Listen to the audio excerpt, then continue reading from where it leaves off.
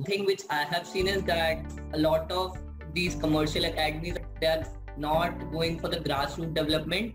Actually, when we see the trend of badminton, the trend uh, depends on the performance of the individual hmm. player, and it has to continue.